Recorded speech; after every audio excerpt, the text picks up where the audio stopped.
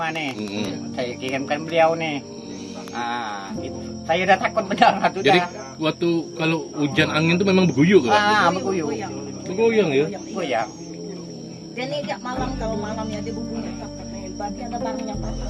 Ini dah kalau Oh. ada Dia bergeser hujan, gitu. Kalau dia dah bunyi, dia pasti geser. ah, tak. Dia bergeser. Hmm. Kalau dia bergeser dia gelas. bunyi. Ah, bangun tuh. Kalau di luar ya. Berarti kalau misalkan kondisi kayak gitu, anak-anak dibangunkan suruh tidur yang di belakang tuh?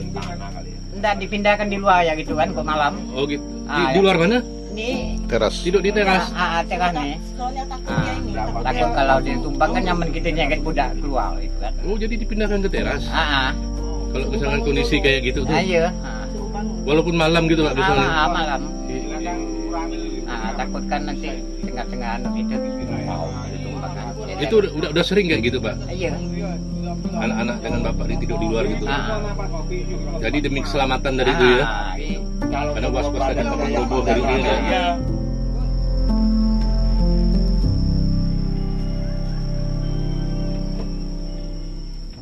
Saya atas nama pemerintah Kecamatan Sungai Pinyu mengapresiasi kepada warga saya.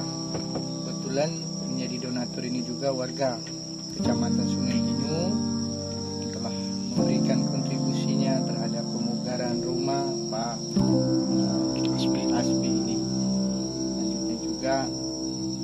barangkali nanti saya juga akan eh, mencoba menanyakan ini kepada pemerintah daerah. Dalam hari ini adalah dinas sosial. Kebetulan mungkin ada rumah tidak layak huni dan sebagainya menjadi program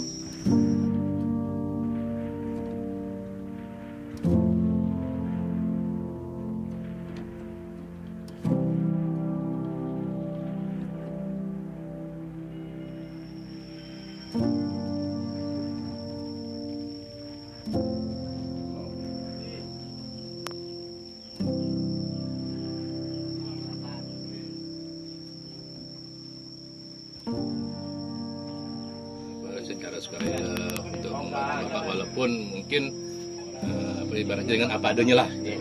Saya di memang betul-betul banyak dibantu dengan pengaji, dengan kajian dengan semua macam Pak Kapolsek, Pak Akut, Pak Koramel, pejabat Pak Camat.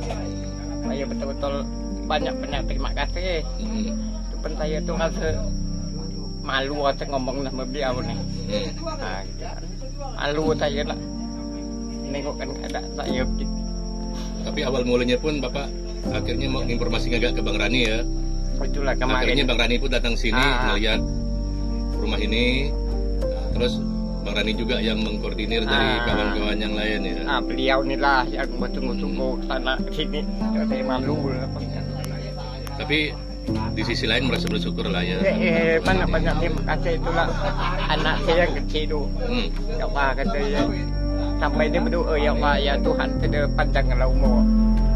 Pak Jirani kata dia dia yang nolong kita. laki-laki